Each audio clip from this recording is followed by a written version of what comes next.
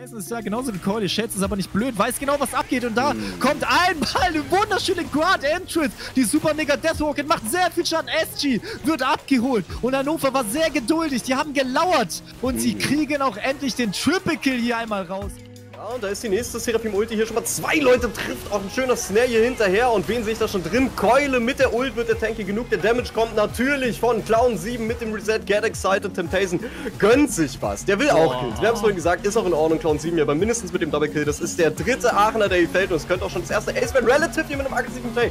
Dreht sich nochmal um, Flash drauf, weil Clown 7 kann hier unter Einsatz beides haben. Das knapp hält ja auch Shades. Nicht in der Nähe, war knapp, aber kommt nicht ganz ran. Relative in einer ungünstige Position hier. Wollte alles nochmal geben. Und das war, glaube ich, der All-In-Move von Aachen in dieser Situation. Sie verlieren drei, bevor der Baron-Fight so richtig entstehen kann, denn Baron ist schon gone.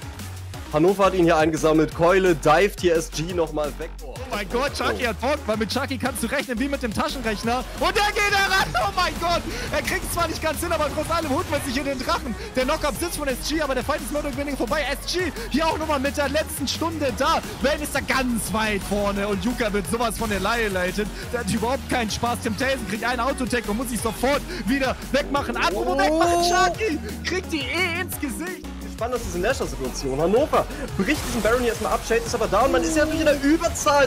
Kommt ein Set reingeflogen, bringt jemand mit, macht viel Damage auf alle, ist aber auch tot, bevor er tatsächlich reagieren kann, beziehungsweise bevor sein Team die Möglichkeit hat, da zu followen. Clown 7 flasht hier um sein Leben, Keule Flash rein, okay, wird auch, oh mein komplett gelöscht von Relative Lichman. Checks aus, der andere Kill. Geht an den anderen Carry. Was ist hier los? Chucky, so viel Damage mit den Raketen. Aber es wird keinen Unterschied machen, selbst wenn Shades hier noch fällt. SG ist einfach wieder oh. da sehen gerade den TP von Chucky. Und Chucky, der hat richtig Bock, weil Chucky, der kommt nicht aus der Westside. Der kommt aus der Steinzeit. Wunderschön. Da kommt es den Call nochmal her, Giardini. Der Dieb, der wurde abgefangen. Da hinten ist nochmal die Gwen und die macht richtig viel Schaden. Yuka ist da. Shades Last Man geht hier rein, hilft er nicht, er weiß nicht, was er machen soll. Er geht auf jeden Fall. Da kommt die Needlework da hinten von dem Yuka und der schnippelt sich durch. Jetzt hat Shades doch seinen Mut gefunden, wieder reinzugehen. Shades ist da. Relative im 1 gegen 2 gegen den Stein und den Supporter. Der Tornado trifft aber sowas von.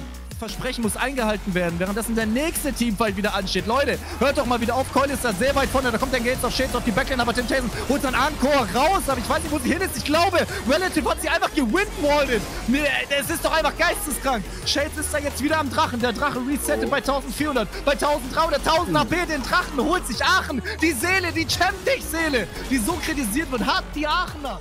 Keule hat überlebt und kriegt den Kill. Ich glaube, ich habe alles einfach gejinxt, was in diesem Fall passieren könnte. Keule geht jetzt hier aber noch mal rein mit dem Shadow Sword von Chucky. Der findet hier oh. was mit dem Da kommt der Reset. Er ist low. Kriegt einen Kill. Kriegt noch mal einen oh. Chucky.